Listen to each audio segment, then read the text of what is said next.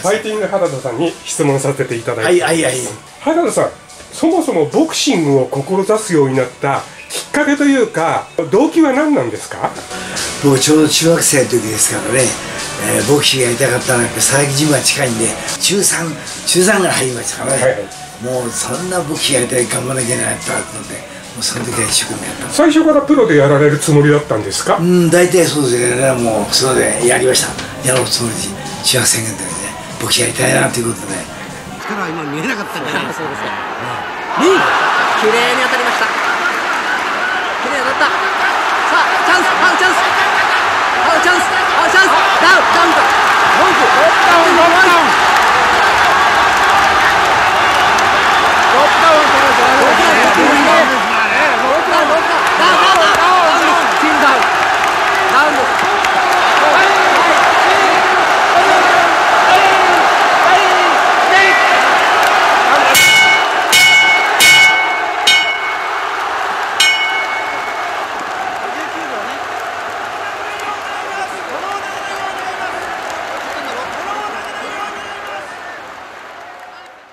えーファイティング原田さんといえば、はい。えー昭和はい。のボクシングサンバガラスです、はい。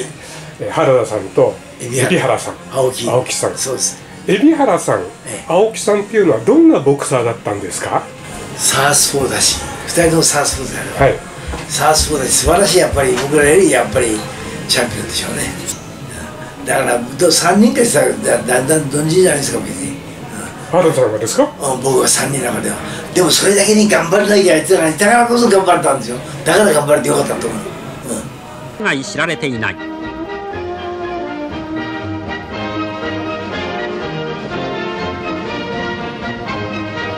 39年10月29日。世界バンタム級2位の原田は東洋バンタム級チャンピオン青木勝利と蔵前国技館で対戦した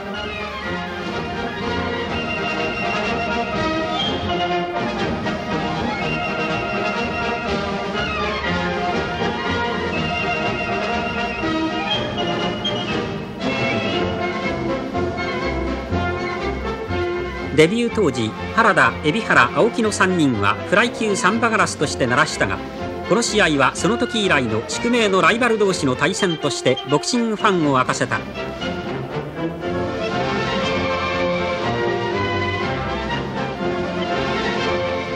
ァンは天与の左強打に物を言わせる天才型青木を佐々木小次郎に。そして努力型の根性男原田を宮本武蔵に見立てて昭和の巌流島の決闘として血を沸かせた。試合前の両者は派手な絶戦を繰り返しノックアウト率5割5分の青木も4割2分の原田も共に早々とノックアウト宣言をするなど矢が上にもムードは盛り上がった。あんな練習嫌いな男は四つん這いにさせて参ったと言わせてやるとファイトをたぎらせた原田は結局1ラウンドに2度2ラウンドに1度のダウンを与えた末3ラウンド2分54秒右フックを青木の顎に決めてノックアウト勝ちした。原田がこの後世界バンタム級の王座に長く君臨したことと青木が間もなくボクシング界から消えていったことを思い合わせると両者の明暗をあまりにもはっきり分けた試合であった。原田さんといえば世界ボクシング界の三国志エデル・ジョフレホセ・メデル。それと原田さんですけれどもまずメデルさんっていうのはどういうボクサーなんですか？メデルですか？はいメデル。いや僕らうまいですもんね。最高にボクシング。ボクシングがやっぱりうまい。彼女うまいね。はい。うん、で俺なんかうまさだったら全然違いますよね。でもそれ以上のファイトがあるから俺なんかね勝ってやらなきゃと思いますよ。うまさだって全然勝てないよねだからあれでもあれでもただファイトで勝ってるからね、はい見て倒してんだからロープ際の魔術師って言われてましたけど。そこでそこでだから行くからですよずだからそこで行かないけどまた入っていくからいいんでしょ俺は、はいはい。うん、そこでやられるんだったら倒されてるんでしょうね、うん。ラウンドからこの6ラウンドまでゴンが鳴りますと同時にメデルの方に飛んでいきますファイティング原田原田も左の連打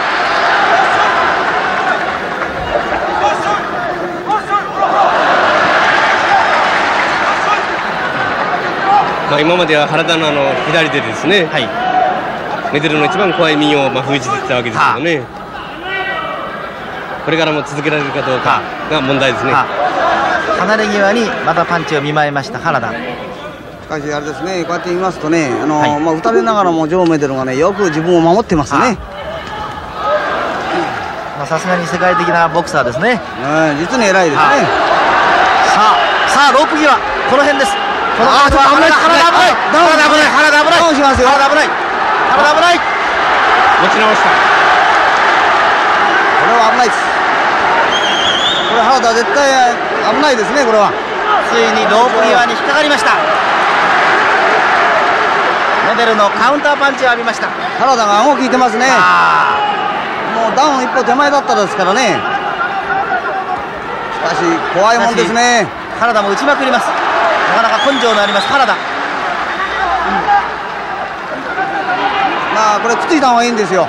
離れてしまうとね、やはりまた打たれますね。さああーっと。ちょっと離れています。ここでちょっと効きまはい。した。危ない。原田危ない。ちょっと足が来ました。原田危ない。メダルチャンスです。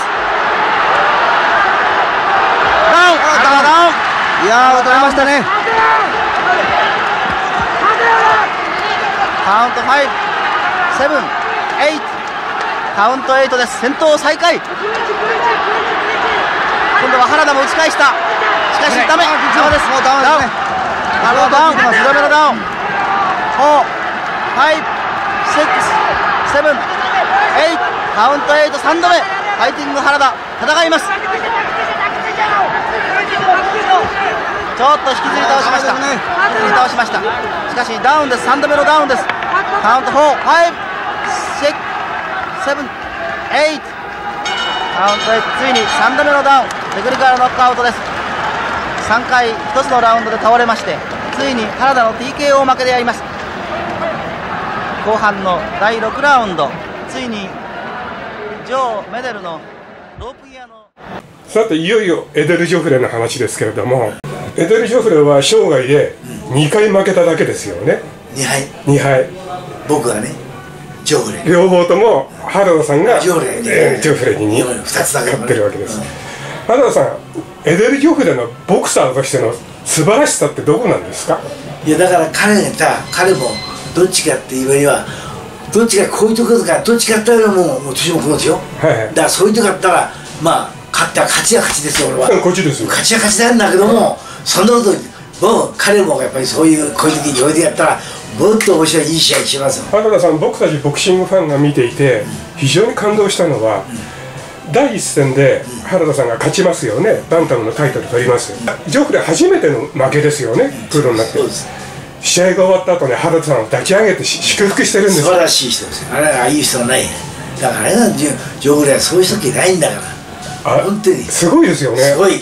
ああいう人はやっぱりねすごいチャンピオンのチャンピオンう最高のチャンピオンでしょ。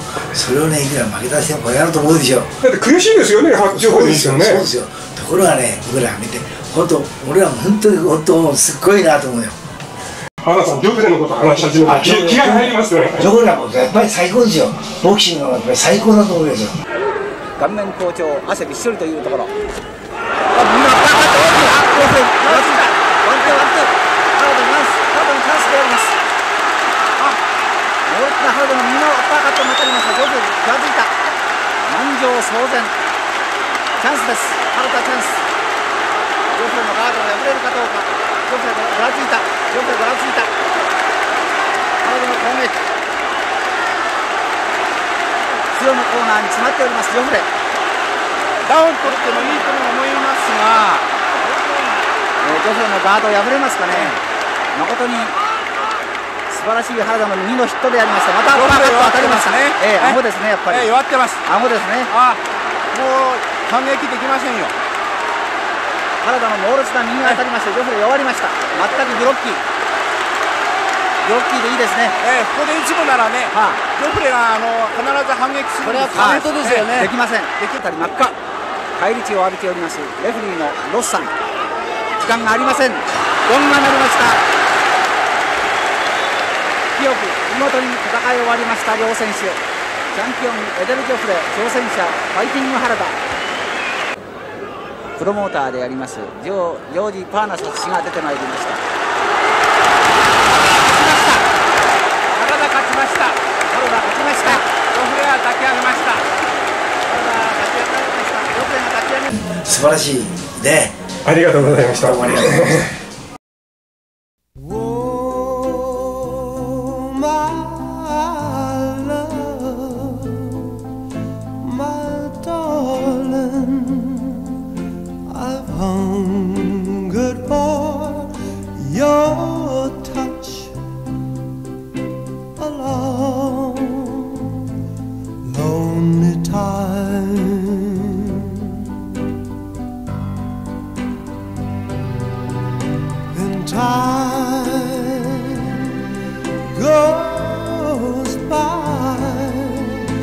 So slowly, and time can do so much.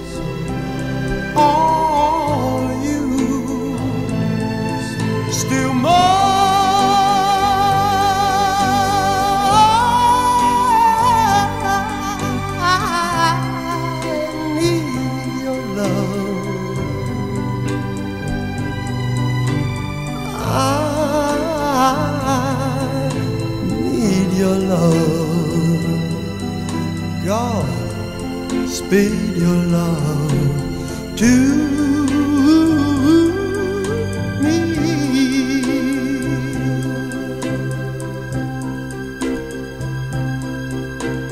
Lonely rivers flow to the sea, to the sea, to the open arms of the sea. Yeah. Lonely riverside, wait for me, wait for me. I'll be coming home. Wait for me.